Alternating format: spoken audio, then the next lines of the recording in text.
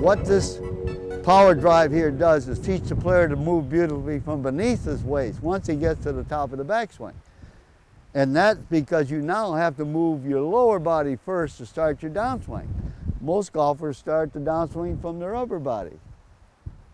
They throw the arms away from the body and they throw away, the body goes to the left, falls back, they fire, fall back. You know what they say.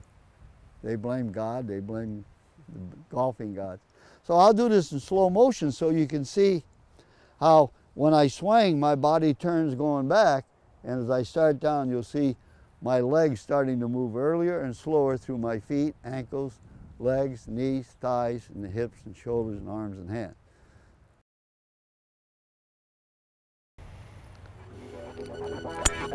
Beautiful.